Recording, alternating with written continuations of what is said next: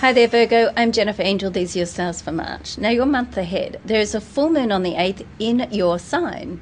So you can expect to feel a little or maybe a lot off balance around this time. Full moon energy can provide the catalyst for change, though, so that's what's good about it. And what this means for you, Virgo, it's a good time to focus on you and give yourself some well needed and probably well overdue nurturing, okay? Some pampering is, is in the stars. Now, for career and money, what you need to do now is set the foundations for what is to come. Get organized and get overdue jobs up to date. Within a few months, you are not going to have the time to do anything else but focus on your highest level of priority. So now is the time to attend to business.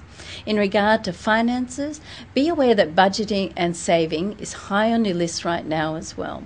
Money can come from unexpected sources and just when you need it the most. So it seems like you're in tune and you know due for a little little uh, monetary surprise there. So that's good news.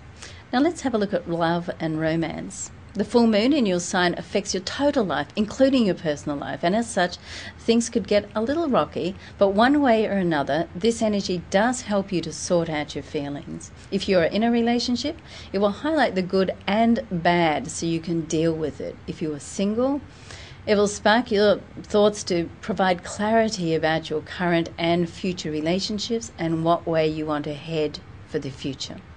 Now, your lucky numbers are 3, 7, 8, and 28. Your defining day, March the 8th. Right now, you can learn to let go of the past to make room for the future, Virgo. So, very positive. Can be confronting, but very positive.